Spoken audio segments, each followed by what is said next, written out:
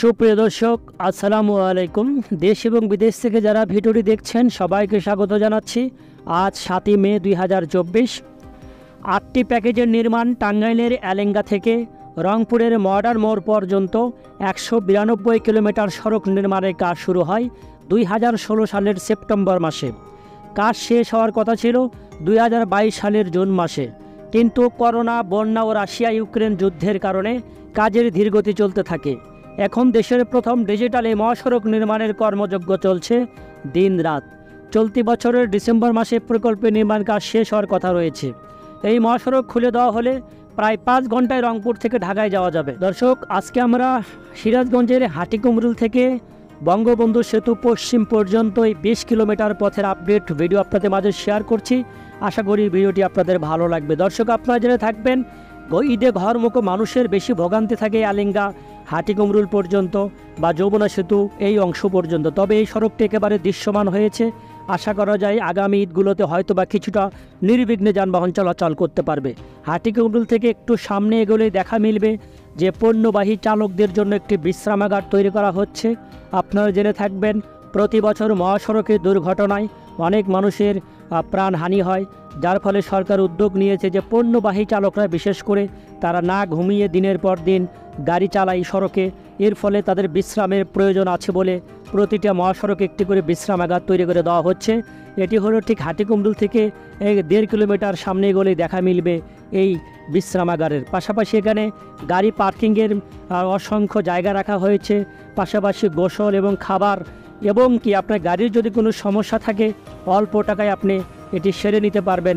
একটি ওয়ার্কশপও নির্মাণ করে দেওয়া হবে। বলা চলে সরকারের খুবই ভালো একটি উদ্যোগ। তো দর্শক, এখান থেকে আমরা সামনের দিকে যাব অর্থাৎ যমুনা সেতুর দিকে যাব। এই সড়কের বর্তমান চিত্র কী? আমরা দেখতে পাচ্ছি এই অংশে একেবারে সড়ক প্রায় দৃশ্যমান হয়েছে, ছয় লেনই। এখন সার্ভিস লেনের কাজ কিছুটা বাকি রয়েছে। পাশাপাশি এই অংশে সড়কের যে মাঝখানে ডিভাইডার অংশ ছিল কিছু কিছু অংশে ডিভাইডারের কাজও প্রায় শেষ করা হয়েছে।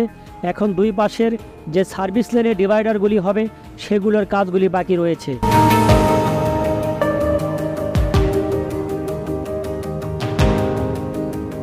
আমরা এখন দেখতে পাচ্ছি এটি হলো নলকা ব্রিজ। একটি সময় দুটি লেন ছিল, পরবর্তীতে আরও দুটি লেন বর্ধিত করে, সেটি কিন্তু চার লেনে দাঁড়িয়েছে। যে সেতুর কাজ পুরোপুরি সমাপ্ত ঘোষণা করা হয়েছে, পাশাপাশি রোড মার্কিং থেকে শুরু করে রোড কার্পেটিংও কিন্তু প্রস্তুত। সামনের অংশের দিকে যাব, সেদিকের কী অবস্থা?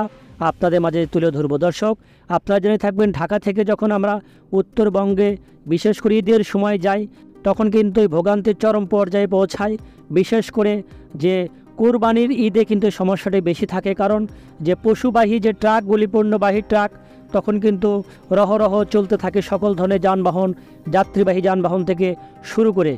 কিন্তু আমরা দেখে থাকি যে ঈদ উল ফিতরের সময় যে দশ দিন পণ্যবাহী যানবাহন কিন্তু বন্ধ থাকে, যার ফলে কিছুটা নির্বিঘ্নে চলাচল করা যায়। তবে কোরবানির ঈদে কিন্তু এই ভোগান্তি অনেক সময় অনেকটাই বেড়ে যায়, বিশেষ করে এই মহাসড়কে। তবে আশা করা যাচ্ছে আগামী বছরের ঈদ থেকে হয়তো বা এই সমস্যাটি থাকবে না। তবে আসন্ন যে ঈদটা আসছে আগামী মাসে, সে মাসে অনেকটাই ভোগান্তির আশঙ্কা করা হচ্ছে। কেননা, যেহেতু বঙ্গবন্ধু সেতু পূর্ব থেকে এলেঙ্গা পর্যন্ত ওই অংশটুকু এখনও প্রস্তুত করা হয়নি। নানান জটিলতায়, নানান সমস্যায় বিভিন্ন মন্ত্রণালয়ের জটিলতার কারণে কিন্তু ওই কাজটি পিছিয়ে পড়েছিল, যার ফলে ওই অংশেও কিন্তু ভোগান্তি হবে। তবে যমুনা সেতু পশ্চিম থেকে এলেঙ্গা পর্যন্ত মোটামুটি পুরোটাই কিন্তু ছয় লেন দৃশ্যমান হয়েছে সেটি আমরা সরজমিনে দেখতে পাচ্ছি। দর্শক, আমরা চলে এসেছি একেবারে ঝা ওয়েল যে একটি জায়গা রয়েছে, এটি এটি হচ্ছে রেলওয়ে ওভারপাস। এই রেলওয়ে ওভারপাসের যে পিলার, সেটি এক থেকে দেড় বছর আগে দেখেছিলাম, তবে যথেষ্ট সময় লেগেছে, যথেষ্ট সময় লাগছে এই ওভারপাসটি নির্মাণ করতে। তবে এখন পুরো দমে কাজ চলছে হয়তো বা আগামী কয়েক মাসের মধ্যে এই কাজটি সম্পূর্ণ করা যেতে পারে। দর্শক, আমরা এই ফ্লাইওভার ক্রস করে চলে যাব। একেবারে কড্ডার মোড় হয়ে যমুনা সেতু পশ্চিম পর্যন্ত। তো আপনাদের একটি কথা বলে রাখি, যারা ফেসবুক পেজ থেকে ভিডিওটি দেখছেন, অবশ্যই পেজটিকে ফলো দেবেন। আর যারা পাশাপাশি ইউটিউব চ্যানেল থেকে ভিডিওটি দেখছেন, অবশ্যই চ্যানেলটি সাবস্ক্রাইব করবেন। যদি ভিডিওটি ভালো লেগে থাকে, দর্শক এছাড়া আপনাদের যদি কোনো মতামত থাকে, সেটি কমেন্টসে জানাতে পারেন। চলে যাচ্ছে আমরা কড্ডার মোড়ের দিকে। আমরা এই অংশে দেখতে পাচ্ছি মাঝখানে সড়কের যে বিভাজক বা ডিভাইডার সেটির কাজ চলছে পুরোদমে। আমরা পিছনে দেখে এসেছি, সেদিকে ডিভাইডার কিন্তু প্রস্তুত হয়েছে। এইদিকে কিন্তু ডিভাইডার ঢালাইয়ের কাজ চলমান রয়েছে পাশাপাশি। এদিকে সার্ভিস লেনও কিন্তু প্রস্তুত রয়েছে। এখন শুধু রোড মার্কিং পরবর্তীতে আরেকটি ফাইনাল কার্পেটিং হবে এই মহাসড়কে। এই সড়কটি উত্তরবঙ্গবাসীর দীর্ঘদিনের স্বপ্ন ছিল। এই স্বপ্নের প্রকল্পও বলা চলে।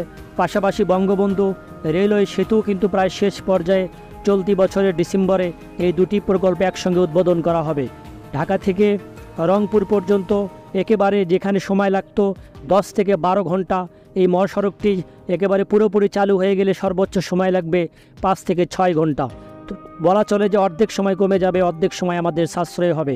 আমরা চলে এসেছি একেবারে কড্ডার মোড়ে, এখানে দেখতে পাচ্ছি চার লেনের একটি ফ্লাইওভার তৈরি করে দেওয়া হয়েছে, যেখানে ঘনবসতি, যেখানে বাজার রয়েছে যেখানে রেল ক্রসিং রয়েছে, সেখানে কিন্তু এই ফ্লাইওভার রেল ওভার পাস কিন্তু তৈরি করে দেওয়া হচ্ছে, যাতে নির্বিঘ্নে যানবাহনগুলি চলাচল করতে পারে আশি থেকে একশো কিলোমিটার গতিতে।